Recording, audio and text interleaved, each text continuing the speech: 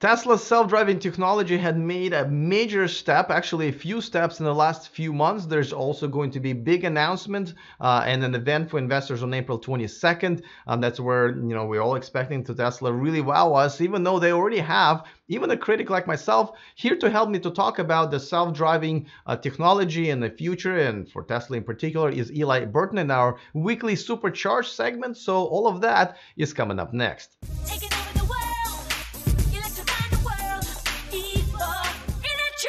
Welcome to E4 Electric, your number one source of unbiased electric car news. If this is your first time here, go ahead and click on the subscribe button so you don't miss anything moving forward. All right, so normally I bring uh, Eli uh, here via Zoom, Skype, whatever you want to call it, but he had a his huge annual event for his te Tesla takeover trip, which I had an amazing time. We once again took over the largest supercharger in the US, and this time, for the first time, I've been told ever in the history of Tesla, uh, all 40 stalls were taken. That was absolutely amazing. Um, you can definitely follow me on uh, Instagram at E4 Electric and follow Eli at My Tesla Adventure to see so many more pictures because it was such a fun event. So but we did it in person um, because it, there was a sunset cruise um, that wasn't uh, didn't get to the sunset because of all the fog until very very much the time of the sunset but it was still amazing. So we ended up taping it on the top deck of the boat but we are riding on. So i'll show it to you in a second. But the trip was amazing. Um,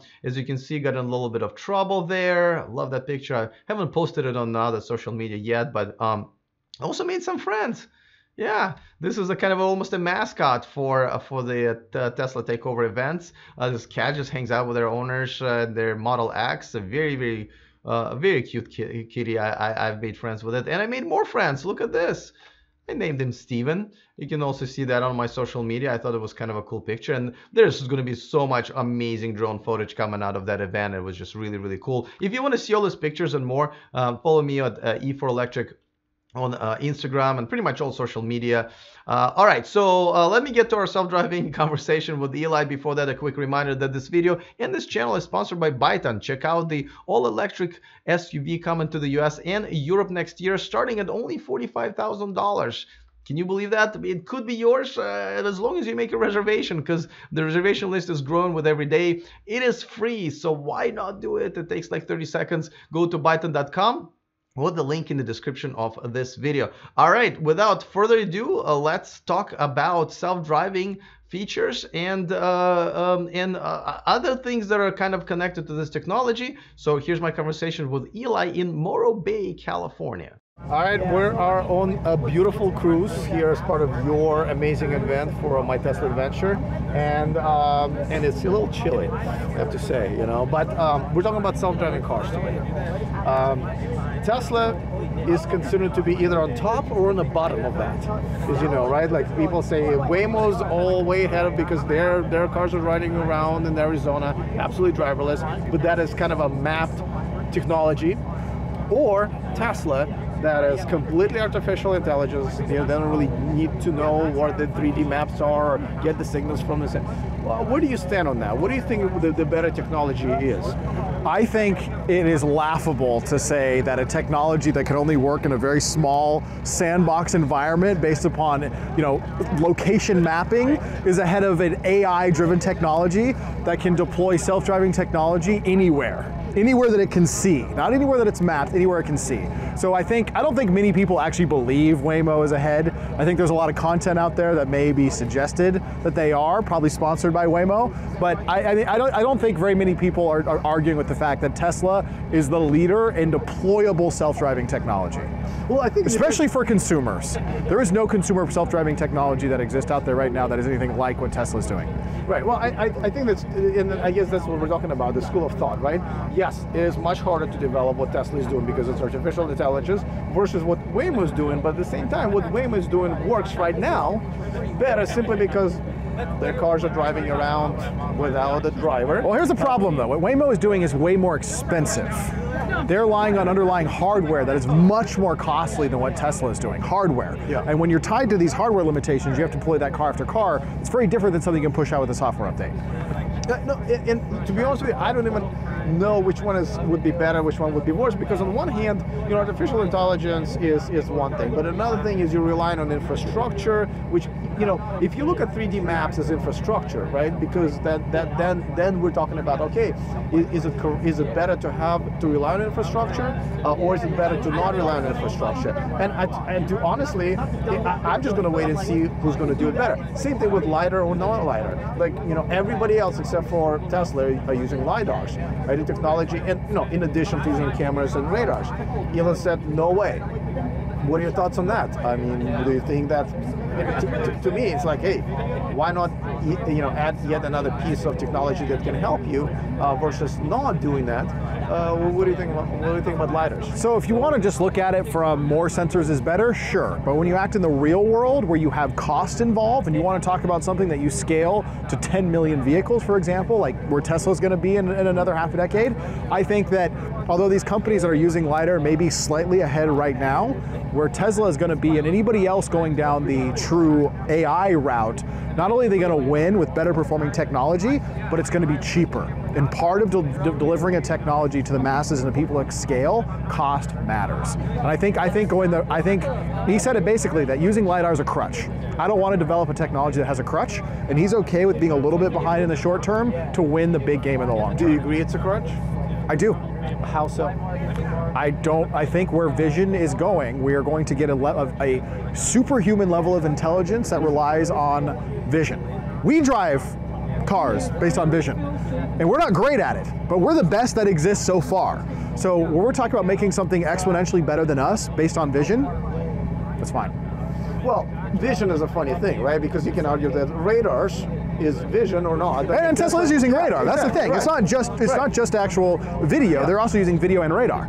Right, you can argue LiDAR is sort of a different or maybe even a better version of radar that's more expensive. Um, and I think the biggest concern with a, a LiDAR, a LiDAR is uh, that it doesn't perform that well in a fog or a sandstorm and so forth.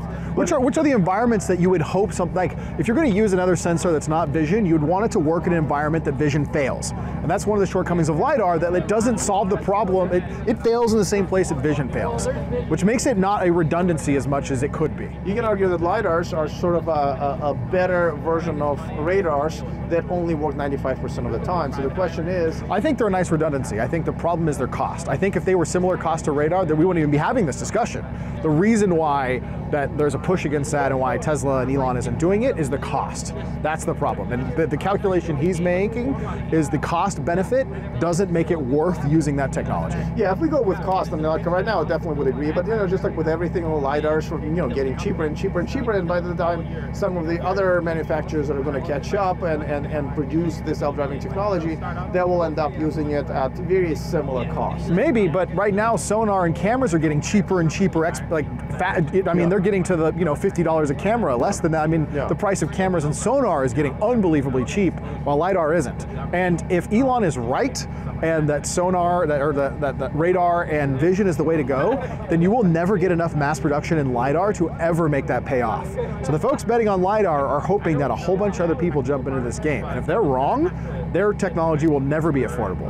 Versus cameras and radar have so many global applications for so many products, there's enough other industries of scale to drive down the price that it doesn't have to rely on just self-driving cars to do it. LiDAR has very limited applications that if the self-driving car thing doesn't jump onto it, I don't see a real path for them to get to the kind of scale to become affordable.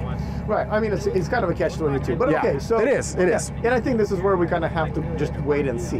We do. Um, I, am I'm 50-50 on that. I, but okay, so let's let's talk about something else, right? Um, you know, Tesla is just about to host an event for investors for uh, for self-driving technology, which it looks like they're making a really major push this year, and it it's looking really like you know, I have not been a fan of autopilot for a long time now, ever since 1.0 came out, and I'm, I'm getting really excited about it again because they're finally making progress, um, and it's exciting, and it's really like I, am I'm seeing it, you know, being out there and being very, uh, very much what we thought it was going to be in the in the near future or distant future.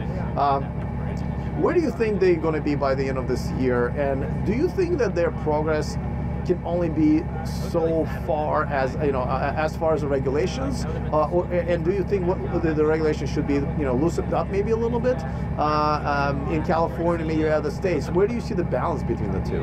So I see by the end of this year Tesla being at level three absolutely level three self-driving. And for, for those who don't know what the different levels are, level three autonomy is effectively freeway driving without human input. That's the translation. Now Tesla's already pushing out updates now that the current version of autopilot is detecting red lights and stop signs, and if you're going through a red light, if you're go heading into a red light while in autopilot, it's not going to stop, but it's going to alert you and say yeah. that we saw it. So I do think we're going to see level three autonomy by the end of the year. Level four is a much bigger hurdle, and not just from a software standpoint of effectiveness, that's where the regulators really get queasy. Now, thankfully, due to companies like Google and progressive states like California, California has been on board with the self-driving thing 10 years ago because Google did the lobbying, they convinced the legislator a long time ago to support this. So it's going to be a very interesting transition nationwide. I think we're going to quite literally have states that will have self-driving five, maybe even 10 years before other states are going to allow it because states have enough autonomy to make these decisions. Now, the federal government did step in and pass a law earlier this year.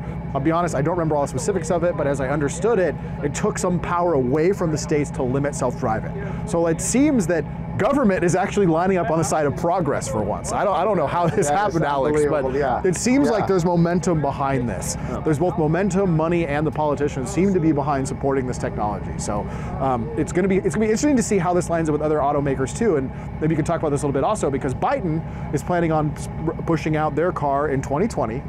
And their promise, as I understand it, is level four self-driving from the gate. Yeah. So I, am very interested to see what how that's going to impact them if they're pushing out a car making this promise. How's regulation going to line up with that? Because that's I mean they're talking in the U.S. Well, right. I mean, obviously they're launching first to China, and the yep. regulations there is not as tight yeah. here, yeah. as here. And you know, um, I, if it's not going to be allowed, they're obviously going to limit the software to level three, most likely, uh, because that's going to be allowed. But I think, uh, as far as China is concerned, I think that will be something that they'll be able to do at level four. And I'm, I'm kind of curious myself, to be honest with you, because that is a pretty major statement, and we're getting there, right? They're they're producing the cars at the end of this year, whether anybody likes it or not, um, and definitely coming to the U.S. next year. So I, am looking forward to it, and I think it's going to be up to the regulators. Let's talk about something that um, you know, the biggest limit, you know, the biggest problem I have with the autopilot is the limitation that did not come from regulators. It actually came from Tesla. And you know what I'm talking about is the fact that you have to keep your hands on the wheel and eyes on the road. Yep. And you know, my argument is always like, well, why don't you need an autopilot? You know, do you think that was a good decision for them to kind of uh, self uh, self limit themselves on this? And when do you think they will be able to kind of uh, go back to where we don't need to have our hands on the wheel and eyes on the road? I think by the end of this year, when they push out true level three, that even removes any legal requirements, but most importantly, any liability requirements for having to do that. Because again, true level three means no human input necessary during the majority of driving, which is primarily freeway. I think by the end of the year, we're going to see that. And yeah, look, I definitely find the notifications annoying. Every every owner who uses autopilot a lot has figured out their way of giving just enough input to satisfy the system without going out of their mind. Because a bit the notifications got really absurd, but the notifications got absurd in response to an unbelievable attack by the media that you even made a great parody video last April Fool's Day about, you know, if Elon Musk became CEO of Starbucks and there was a car accident and there was a Starbucks cup in the back seat. Yeah. So obviously Starbucks is to blame, right? Yeah. So like, I yes. mean, I mean, basically anytime a Tesla was crashing, if the Tesla even had the feature, it must have been autopilot run amok. So I mean, there was a pretty targeted you know, mass media campaign against Tesla going after them for autopilot.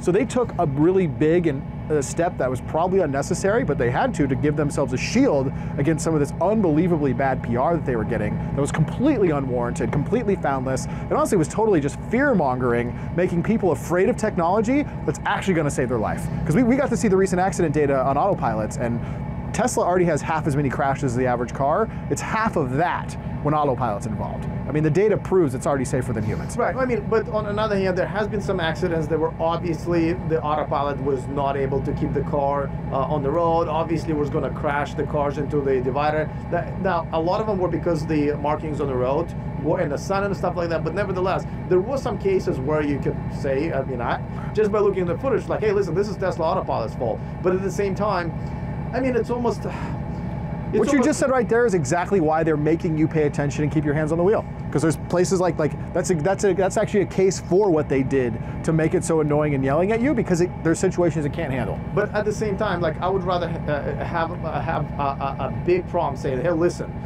you if you you have a choice. We either have you you know keep your hands on the wheel and eyes on the road, or You don't have to, but here you're just going to have to sign your life away and and, and, and, and and never tell anybody that if anything happens to you, it's our fault. Look, you completely take responsibility. I'm somebody who's willing to take responsibility for my actions, and I wish it would be that way. But unfortunately, most humans will check that box and they'll still sue Tesla for it and create a huge bad event. I'm look, I'm with you. I'm with you. I wish it was that simple because I'm willing to take risks that other people aren't, but I'm also willing to accept the consequences for them. Yeah, that's true. Well, I mean, to me, you know, as I might be, you know, I'm, I'm shopping for a car, as you know, like in the next few weeks or months, and every time I'm thinking about Tesla, should I get an autopilot? And I go, no. Like right now, until they uh, remove that, to me, it is not even a feature. But if they were to remove that, that is a must-have, absolutely amazing breakthrough feature to have. so to me, it's like here or all the way there. But I hope, but I hope it does happen by the end of the year because it does look like they're making some major progress. They are. I mean, they just pushed out, they just rolled out the feature of the automatic lane change, you can disable confirmation. I mean, Love this is that. level. Exactly what, yeah, this is getting yeah, real yeah, close to that 2.5, 3 point level three autonomy. It will now change lanes without the human confirming it. Which that, I mean, that's a clue. That's a major action, by the way. Ch like looking at the cars around you, identifying where it's safe, and automatically changing lanes, all the way to the point of exiting the freeway. I mean, we are really close yeah, to level no, we are, and I think it's exciting. It's, it's, and yet, it's the second most exciting thing about it. I think the parking lot summon is is wow. Those um, videos blow my yeah, mind. Yeah. All right. So uh, last question: Where do you see uh, this whole thing going? Do you think uh, others are going to start catching up? Uh, do you think Tesla is just going to be absolute leader, or do you think everything's just going to be halted by regulators and it's just going to go as fast as the government allows? I think there's already enough momentum behind support of this from government and industry. Like again, Google started the wave on this 10 years ago, thankfully. I think there's already enough support behind this technology that regulators are not going to be the roadblock. I think as soon as Tesla drops that level three, I think it's going to be word out to the rest of the automaker community that every car they sell that doesn't have that has a leg down on Tesla. I think they're serving main course downstairs. I think we should uh, go ahead and head and rejoin the rest of the uh, this this awesome. I mean, this is such an amazing uh, like events that you put out, man. Every time it's thank you, man. It's uh, anyway. We're gonna put everything in the description of this video as usually. You guys should just like show up one of these days. And a lot of them do. Like this was completely sold out, right? Yeah, in fact, some of the people who are here tonight found out about this event from your video. Yes, people do watch. It's not just my mom who watches my videos. No, I, no. I'm, I'm excited about it. And Tesla owners still watch your videos. Yeah. that, that is one more. That's amazing. Yeah, that is amazing, yeah. All right, as always, it's it's great to talk to Eli. Of course, I love doing it in person. As a matter of fact, that's how it all started. We ended up having so many debates that people said, "Why don't you do it in front of a camera?" And you know, sometimes we disagree more than we agree, and sometimes it's the other way around. But it's um, it's it's great to uh, to hang out with them. By the way, if you're in California, you gotta attend one of these events. It's it's amazing. Uh, go to myteslaadventure.com or teslatakeover.com, whatever. Sign up for his newsletters. But mainly, if you follow him on social media, you will get also really really good content. Um, and don't forget, we're doing this every uh, every Wednesday, uh, a topic every Wednesday. If you have a suggestion for what we should argue about, go ahead and submit that. We'll be more than happy to consider that. Don't forget to subscribe to my VIP list, our uh, weekly newsletter where I deliver some exclusive content, offers, and news that you don't see here on uh, this YouTube channel or the website. And a quick thank you to one of my newer Patreons, Vic Aiden. Thank you so much for contributing and supporting my independent YouTube channel. Um, Patreon is the only place where you can watch all of these videos live if you want to join, there's a description. Uh, there's a link in the description of this video, but essentially it's patreon.com slash EforElectric. All right, guys, I will see you next time. And remember, don't forget, did I just screw that up? I'm going to try this again. All right, guys, looking forward to your comments. Other than that, see you next time. And remember to stay charged. Whew.